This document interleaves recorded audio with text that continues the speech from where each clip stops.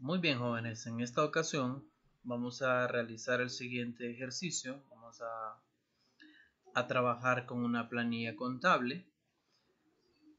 En este encabezado tenemos aquí el, el nombre de nuestra empresa, un eslogan, el logotipo de la empresa, la fecha actual, ya saben que esto es con fórmula, debe de ser una fecha automática y luego tenemos los encabezados de código, nombre, cargo personal, sueldo base, bono transporte, bono antigüedad, total sueldo, deducciones, FOSOBI, seguro social, cooperativa y lo que es el líquido pagable. Luego tenemos aquí un código, puede ser cualquier código, ¿verdad? Yo inventé este aquí, los nombres, luego vamos a agregar las demás mm, opciones y fórmulas. Por ejemplo, estos nombres que yo tengo escritos aquí, por el momento solo tengo seis nombres, están desordenados alfabéticamente. Entonces yo los quiero ordenar alfabéticamente, ¿ok? Por lo tanto, voy a seleccionar los nombres. Digamos que tengo 200 nombres, 120, etc. Todos los nombres que yo tenga. Ya los he seleccionado Después que lo seleccioné, me voy a venir y doy un clic aquí a esta, esta fecha donde dice ordenar y filtrar y voy a elegir la opción ordenar de A a Z. Entonces me da esta advertencia y debo yo de elegir continuar con la selección actual y luego ordenar. Y los nombres se han ordenado automáticamente. Muy bien. Voy a agregar el cargo. Como es una empresa, ¿verdad? De acuerdo al cargo va a ser el sueldo. Entonces, para ello, hago lo siguiente. Voy a agregarle aquí, por ejemplo, que este es el gerente general. Con un sueldo de unos 40 mil empiras, la vamos a poner, por ejemplo. Pero recuerden una cosa, jóvenes.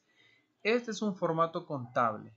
Por lo tanto, debo yo entonces de asignar el formato contabilidad. Muy bien, para ello voy a seleccionar todas las celdas para hacerlo de una, de una vez por todas. Porque si yo voy haciendo celda por celda, imagínense de aquí que termine, ¿verdad? Es muy tedioso. Entonces, selecciono toda la cantidad de celdas. En este caso se es más fácil puesto que como es una planilla, todo el formato es contable. Por lo tanto, lo selecciono. Si tuviese 100 empleados, 50, 200, etcétera, seleccionaría toda la cantidad de celdas que va, que va a tener el formato. Muy bien, entonces me vengo aquí a la opción formato y elijo contabilidad. Perfecto. Para los que han tenido problemas para encontrar lo que es el estilo de moneda, para aplicarlo basta con que yo dé un clic sobre esta flecha donde está el número.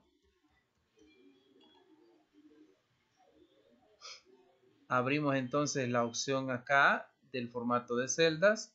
Automáticamente, como ya aplicamos contabilidad, nos aparece.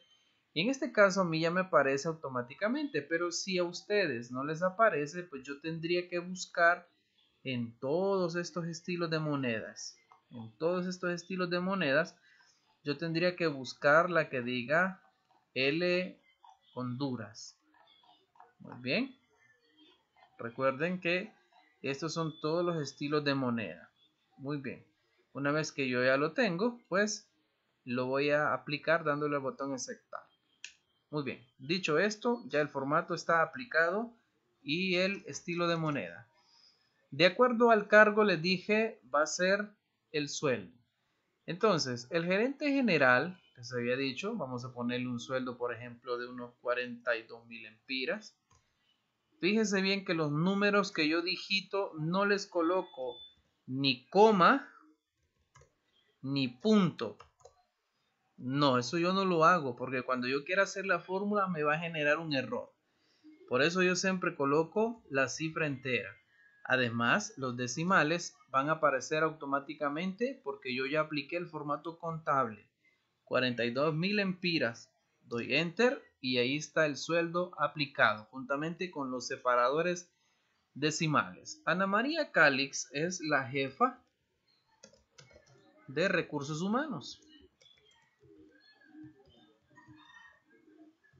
Y vamos a colocarle a ella, por ejemplo, un sueldo de 38.500 lempiras. Francisco Quiroz es el jefe de producción. Y le vamos a colocar un sueldo de 32.800 lempiras. Maritza Paz es la jefa de personal. Y le colocamos un sueldo de 30.000 empiras. Melida Rivera, vamos a decir que ella es la jefa de planta. Y le colocamos un sueldo de 26.000 empiras. Y William Pineda, que está mal escrito, voy a corregirlo. William Pineda es el jefe de mantenimiento. y tiene un sueldo de 24.800 lempiras. Listo. La tarea suya es asignar aquí 10 empleados más. Muy bien. ¿Cómo obtengo entonces el bono transporte? Todo esto es automático. ¿Ok? Todo esto es automático. El bono transporte lo voy a obtener Em, multiplicando el sueldo base, que en este caso de nuestro primer empleado está en la celda E11. ¿Ok? Celda E11. Recuerden trabajar con los rangos de celdas, no con las cantidades que contienen las mismas, sino los rangos de celdas. Entonces, para esto hago lo siguiente.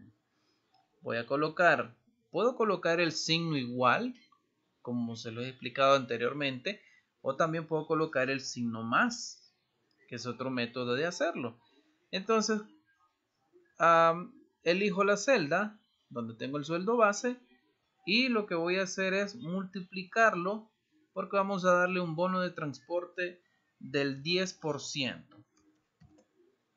Presiono Enter y listo, aquí tengo el bono. Como yo estoy trabajando con fórmulas automáticas, solamente una vez lo voy a aplicar. ¿Ok? Una vez. Si yo arrastro, doy una serie de relleno aquí, entonces automáticamente se me aplica el formato una vez hice la fórmula nada más. No tuve que estarla repitiendo, ¿verdad? Porque se hace un poco trabajoso.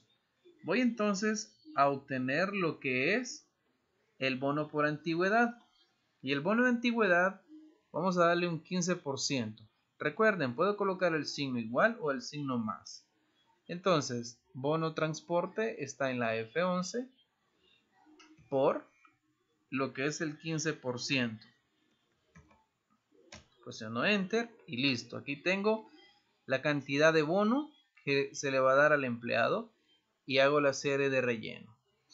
Vamos a obtener el sueldo total. Para el sueldo total yo voy a sumar lo que le corresponde al empleado, que en este caso sería el sueldo base más el bono más el bono por antigüedad. Para el total de sueldo, sueldo base, más bono transporte, más bono antigüedad. Presiono Enter y listo. Aquí tengo entonces el sueldo que le corresponde. Ese sería el sueldo que va a ganar el empleado. Veamos las deducciones. Las deducciones dice que se le va a, valga la redundancia, a deducir el 13%.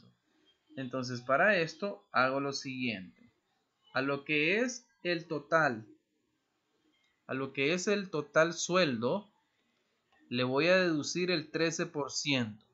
Ya saben, no más. Entonces, total sueldo por el 13%. Total sueldo por el 13%. Presiono Enter y listo. Le hemos deducido del sueldo 6.087.90 lempiras. Hago la serie de relleno y listo, ya tuve las otras deducciones. Para el FOSOBI hago lo mismo también. Trabajo con el total sueldo, que en este caso lo vamos a hacer de la siguiente manera.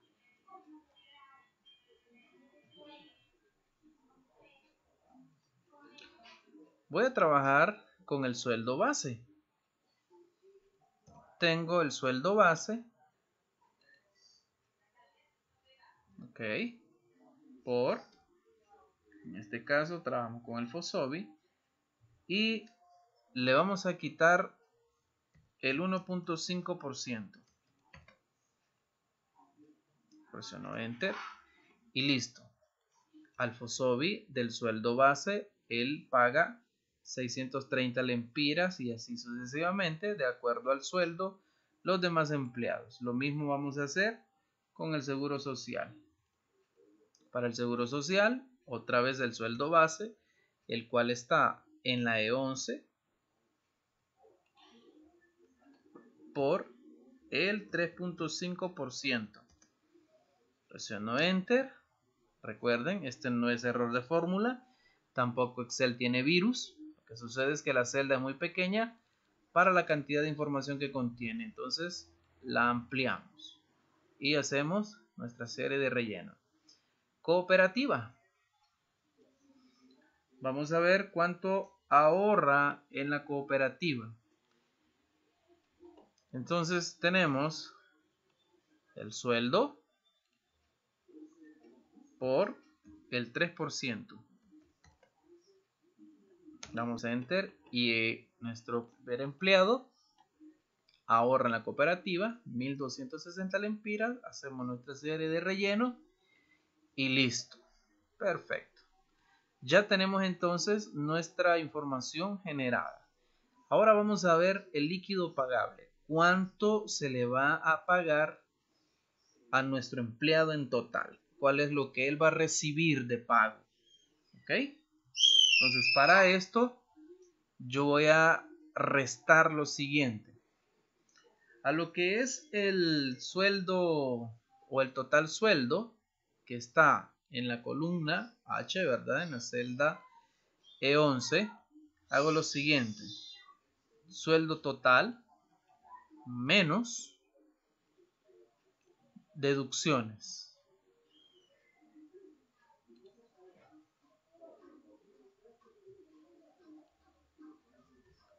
sueldo total menos deducciones. Y de esa forma yo voy a obtener el líquido pagable.